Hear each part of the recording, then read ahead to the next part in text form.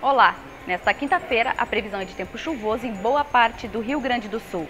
A temperatura deve ficar abaixo dos 30 graus aqui na região. No Vale dos Sinos, o dia será marcado por pancadas de chuva a qualquer momento. A mínima será de 19 e a máxima de 29 graus. A previsão de chuva também para o Vale do Paranhana. As marcas ficam em 19 e 30 graus. O risco de chuva é menor no Vale do Caí e o sol deve aparecer entre nuvens na região. A temperatura oscila entre 19 e 30 graus. Chove na região das Hortênsias. A mínima será de 18 e a máxima não passa dos 26. O dia também será chuvoso no litoral norte. As marcas variam entre 19 e 29 graus. E no Vale do Gravataí, a previsão é de nebulosidade, mas a chance de chuva é menor.